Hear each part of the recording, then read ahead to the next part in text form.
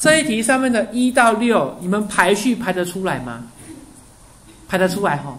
如果排序排得出来，一般而言，后面的题目就会知道了。各位啊，像这个编号四，我们这样用用用所谓的那个生殖的细胞的角度来解释它好了。我换个颜色，因为这边已经有红了。好，我写写在下面哦，四、三、二、六、一、五，你就对照对照上面的图儿。一开始的四号在这里，它是不是卵圆细胞或精原细胞？然后到了三呢，是不是经过 DNA 复制？这叫做 DNA 复制。这时候呢，叫做次级卵母或呃不是初级卵母或初级基母，就写个初母。好，接下来呢，经过第一次解除分裂，就由三变成二，叫一减，此时变成次母，刺激卵母细胞或次级基母细胞。接下来经过第二次解除分裂，写个二减，变成六。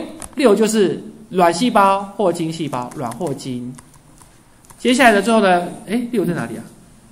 哎，太快了啦！哦，瞎了我，我太急了。三，然后二，哎呀，别急啦，我急什么？擦掉重写，不要猴急。四变三，三变二，六一。五将在哈，我太太急了，再一次，二号在这里，二号发生什么事？二号是不是联会？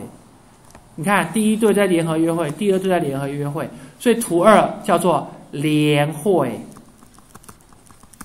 ，OK。然后六呢是六六六六六是后期，也就是第一次解释分裂的后期。为什么说它是第一次的后期呢？因为这两个互为同源染色体，同源染色体分离啊。同源染色体分离，好的，所以从三一直到一中间换个颜色好了。从三到一这个过程都叫做第一次减数分裂，这个一减分。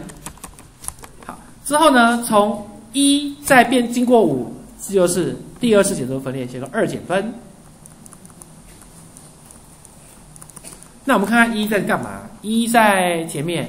那就是第一次减数、第二次减数分裂的前期呀。然后到了五呢，哎，往后拉了，进入到第二次减数分裂的后期。因为为什么它是后期？因为它是复制染色体分离，那就是第二次的分离啊。第一次才是同源分，第二次就是姐妹染色体分离。好，那按照这样流流程下来，我知道流程了。那现在是不是题目都知道了？第一次减数分裂。就会发生二 n 变一 n，所以它一定发生在第一次指数分裂啊。好，什么时候呢？后期结束，因为你看这个六，这时候还叫做二 n，这时候因为在同个细胞里面，当你中间一夹断，锵，才会从二 n 变成一 n，也就是六的后面到了下一次的一，所以六到一，二 n 变一 n，第一次指数分裂后期结束，把 DNA 切到两个不同的细胞，把把这里切到不同的细胞。那谁可以确定它是减数分裂呢？只有联会，呃，只有减数分裂会发生联会，也只有减数分裂会发生同源染色体分离。所以二号跟六号只有减数分裂有，有丝分裂没有的。联会及同源染色体分离只有减数分裂有，所以答案是二六。好，那第二次减数分裂期间，那就是最后两个啊，一五啊，就直接出来啦。那什么时候成对的因子要分开？就是六啊，六到一。其实，所以事实上这一题的第二题跟第五题是一样的意思啊。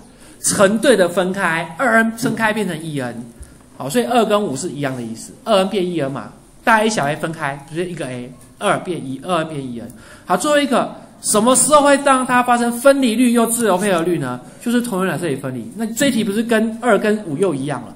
同源染色体分离使得二 n 变一 n 都发生在六号到一号的过程，在这边分开就二 n 变一 n，同时同源染色体分离，不同源染色体自由配合。哦，所以其实这一题的二、五、六是问一样的事情，所以答案会是一样的，就是同源染这里何时分离？好，我们先讲到这里。